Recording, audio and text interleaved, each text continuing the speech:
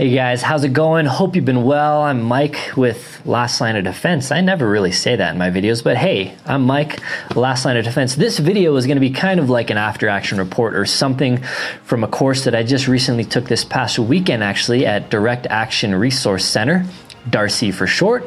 The course was Tactical Urban Sustainment course, TUSC, T-U-S-C.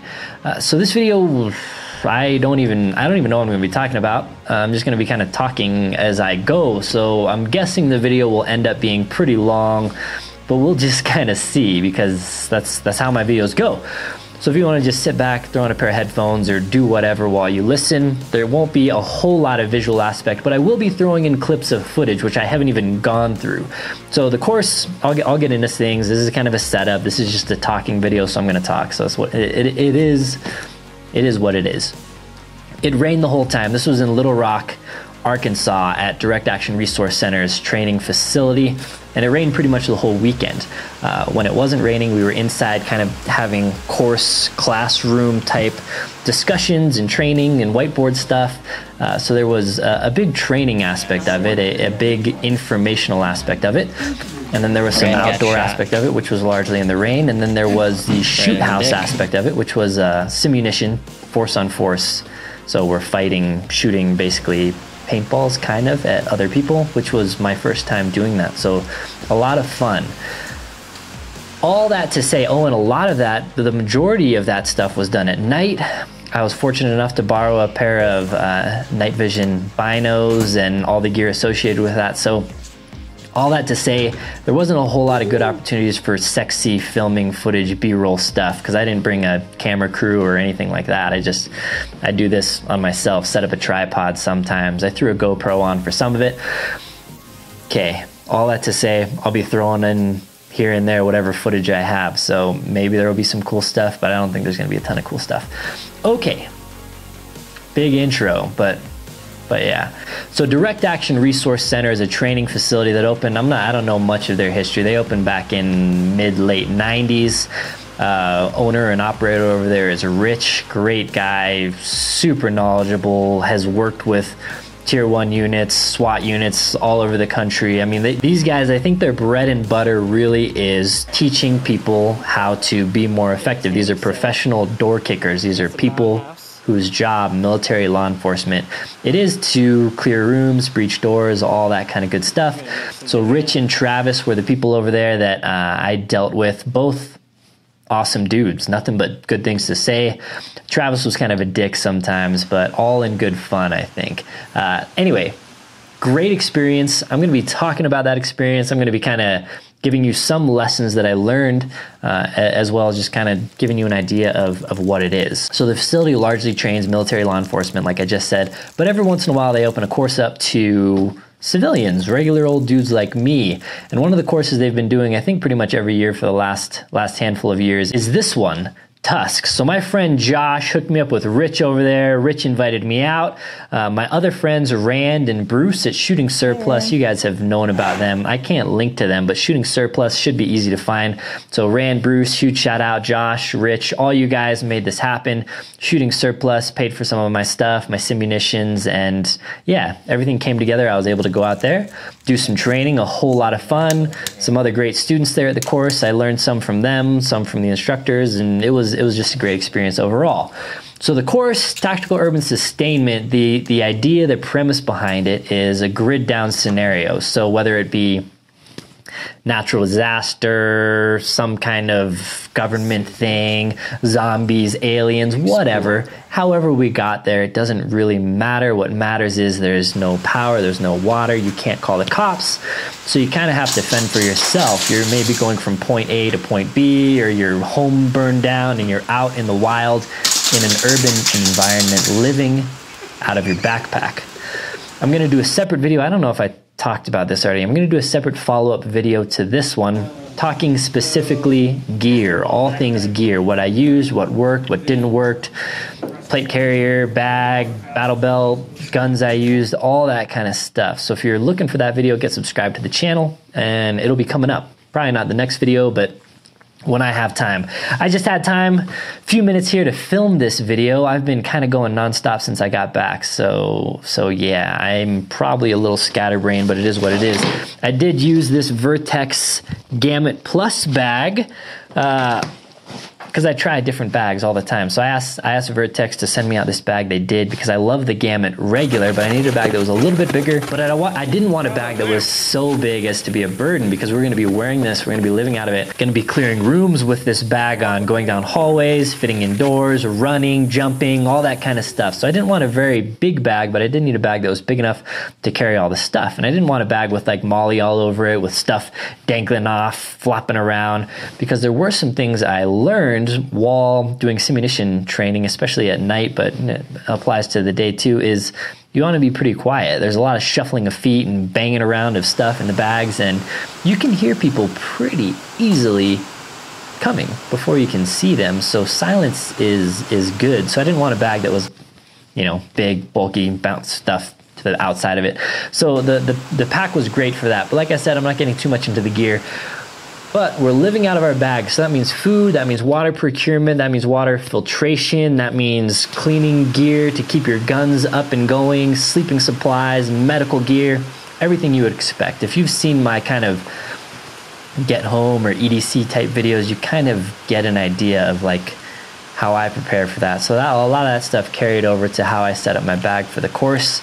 Uh, and yeah, we, we talked about considerations, you know, pump filters versus gravity filters, tablets, sleep systems, hammocks, mosquito nets, which were the mosquitoes were bad. I don't have to deal with that much out here in Colorado, but oh man, out there in Arkansas, it was it was something else. I still have bites on me that I'm I'm trying not to scratch.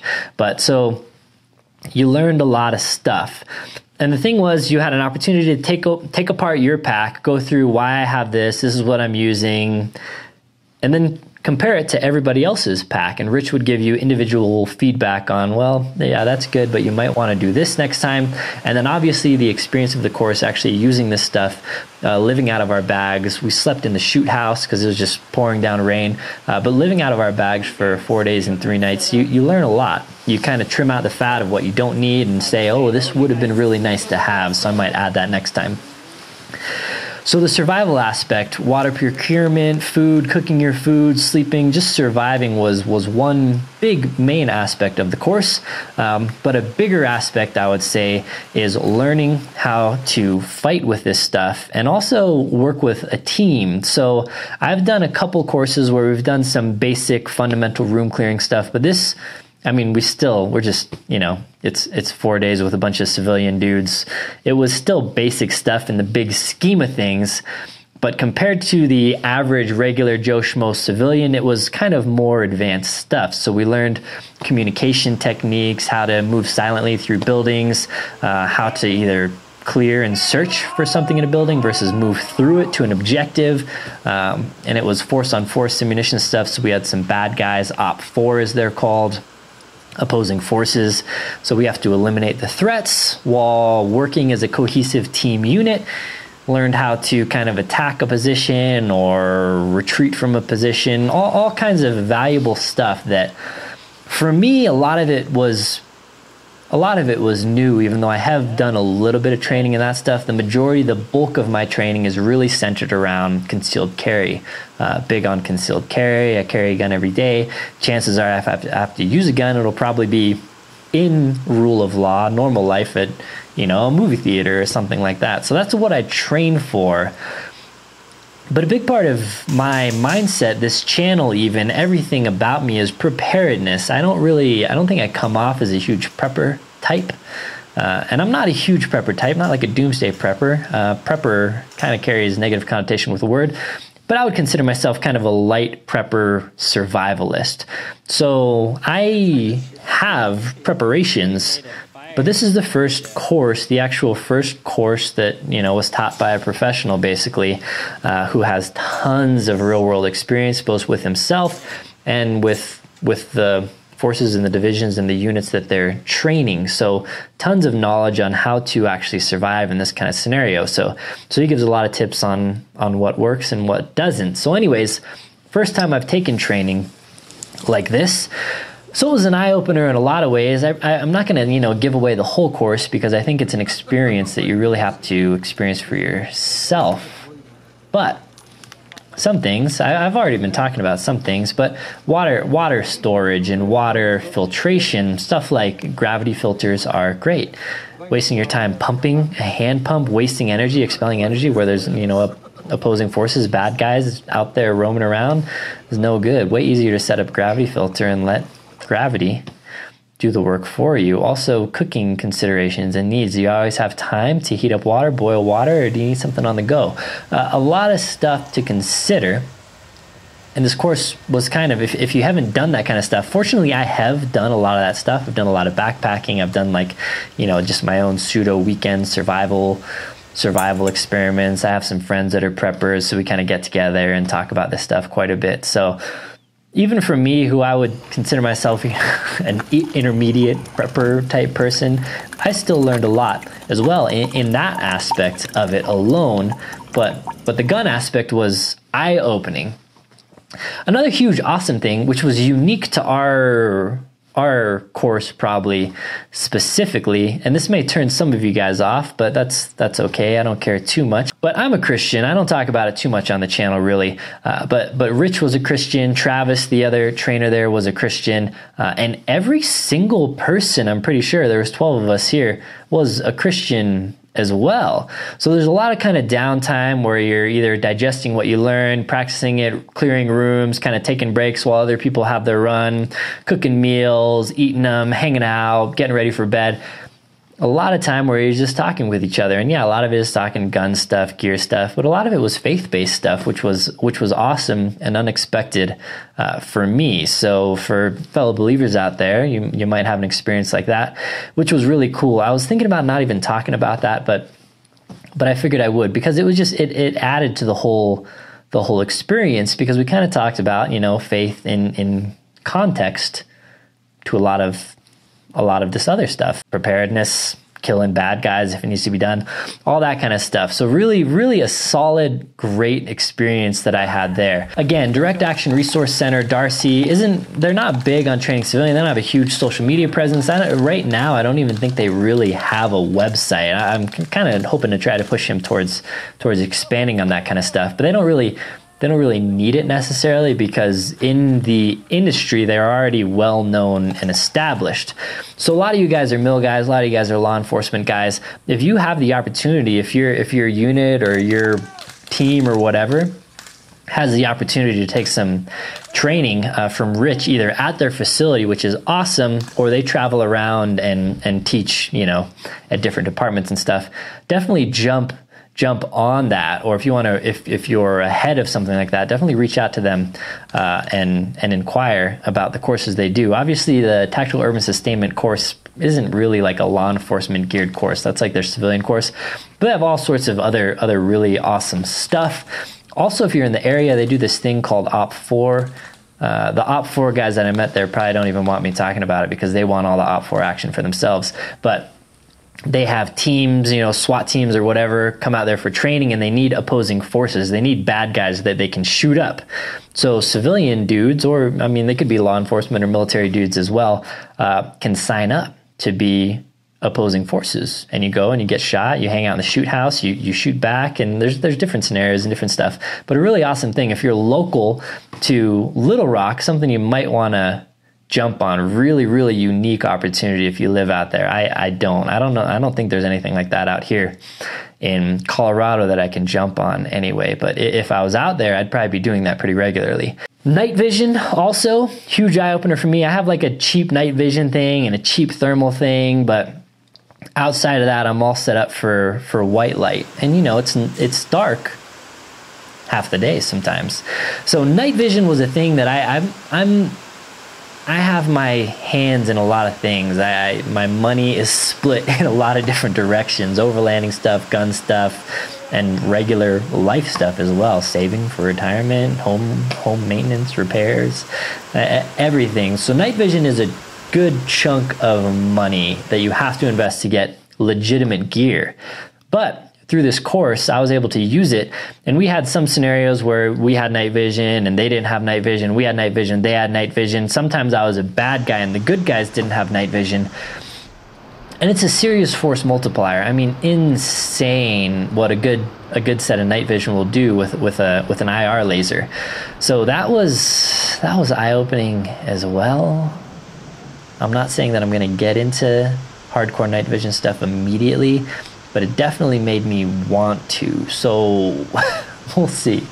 We'll see what happens down the road. But it was, I mean, that, that was a great experience, um, both learning experience because you can, you don't just throw on a set of night vision if you if you haven't used it much and you're just like okay I'm 100% better because there's pros and cons your field of vision is narrowed and it just it takes getting used to on top of that simunitions force on force stuff. I was wearing a gas mask helmet ear pro the whole time because i don't want you know, i don't want to mess this up right? You don't want to you don't want to get shot in the face and destroyed.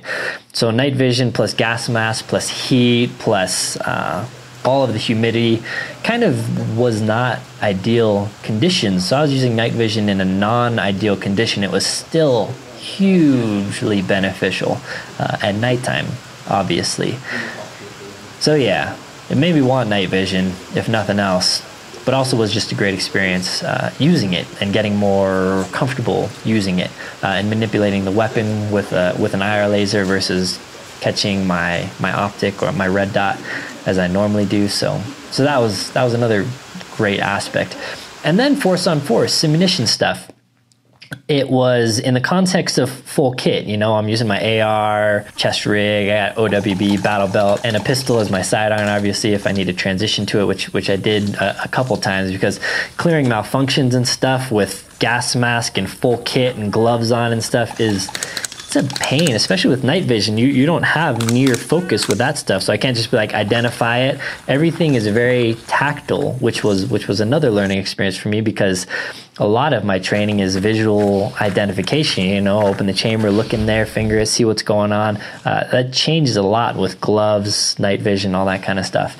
Uh, but simunitions, uh, I do, I've done a ton of flat range stuff, a lot of training, a lot of practice on my own, and shooting static targets. Even when I'm on the move, which I try to do a lot, cover, concealment, all that kind of stuff changes entirely in force on force. So, against an opposing force, a real breathing, thinking, especially these guys, tactically sound human being, where you're in an area with cover where you're shooting at paper or steel and you, you think you're tucked away, this guy's gonna hit your knee with a simunition round. It's gonna get your shoulder, is gonna get your face. So it's it's an eye-opening just in that when you think you have good cover but you don't but also you have cover here there's another guy that peeks out the window over here comes into the room or flanks you. It's just force on force is just completely different than than training paper. And i've done all kinds of training paper. I mean i do a lot of movement shooting on the move like getting behind cover concealment really. On the range usually it's not really cover uh, but it's pseudo cover. And yeah, shooting targets, I, I, have access to just the outdoors. So I have 180, 270, 360 sometimes degree ranges. So I try to train in as realistic scenarios as I can, but still doesn't even come close to touching what you're going to learn in an encounter in a force on force uh, scenario. So yeah, I don't know. I think that's it. I actually got to get to I got to get to some stuff. So that's that's all I got for you right now. Maybe I'll do like an after action report too if I actually have some time to organize some thoughts. Yeah, but I wanted to get this out there while it was all kind of all fresh in my mind um, before waiting too long. So that's this video. Now I'm going to just kind of toss together a couple clips maybe of I, I asked some of the other students there uh, if they would just talk for a little bit uh, about why they took the course, kind of what they learned, that kind of stuff. So I'll throw that in here again, huge shout out and thanks to Josh, Rand, Shooting Surplus in general, Bruce over there as well, for kind of putting this all together and making it happen. Great, great experience. If you have the opportunity to jump on this course, definitely do. If you have the opportunity to train with uh, Darcy in general, jump on that too.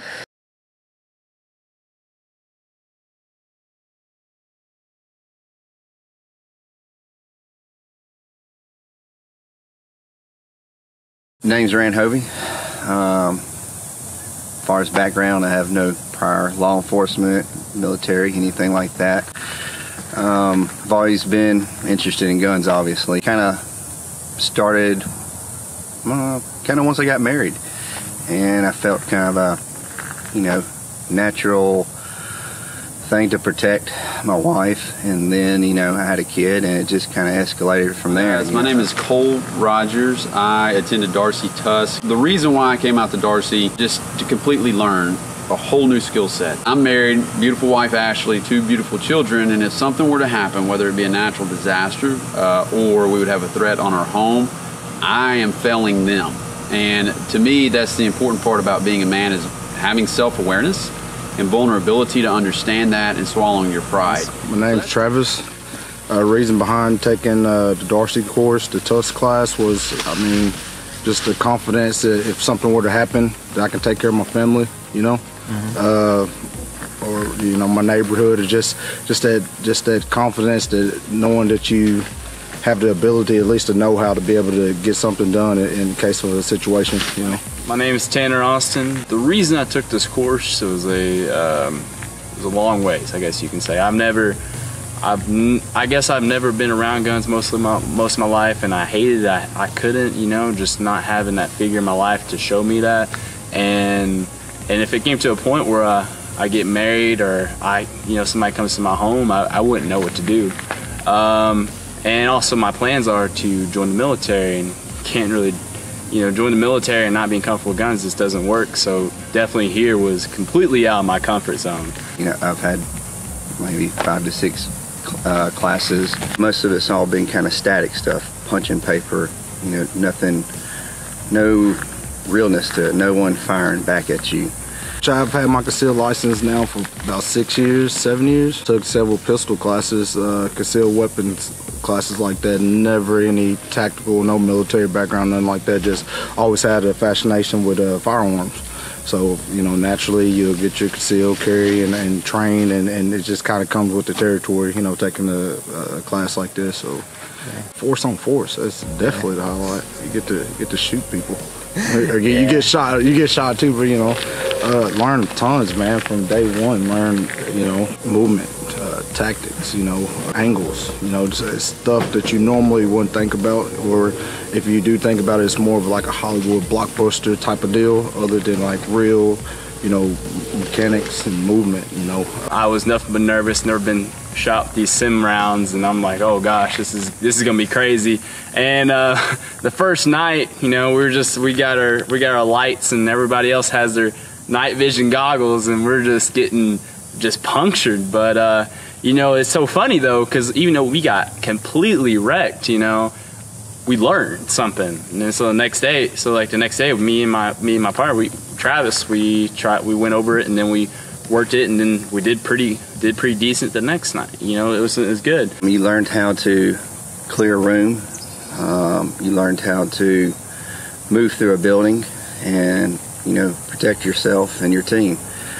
You know, it's it's a lot more to it than what it looks like on the movies.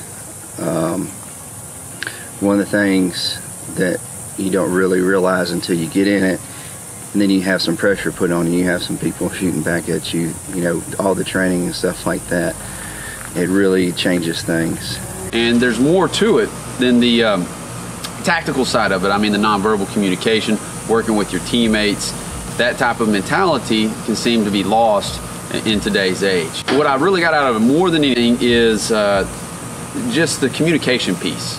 Uh, I think that goes, the communication with your teammates for me is huge because so much we do out there requires communication and we just don't do a good job of it. But yes, tactically, the confidence, teamwork, teammates, and communication, that's really what I got out of TUSC. So, so far, Darcy's been pretty great. I would say if anybody interested in taking the class, they should take it. Uh, I recommend it to anybody. Look those, look these guys up. Nothing like it. So I'll do it again if it, if it's here next year. If he's op- opening it, I'm, I'm here. So. All right, guys, I think that wraps this video up. It was a doozy, so thanks for sticking with me to the end. Uh, feel free to ask questions down below. If you have anything, I'll try and get to them. Uh, and I'll put all the relevant links and stuff that I can down below. Thanks for your time. Get subscribed. Again, the video on all the gear coming up. Maybe I'll link to some of the gear down below if I remember as well. But yeah, get subscribed, hit that thumbs up button, leave a comment, say what's up. Maybe you've trained with Darcy, let me know. Maybe you are Darcy. Travis Rich, I doubt you made it to the end, but if you did, thanks for everything. Until next time, guys, take care.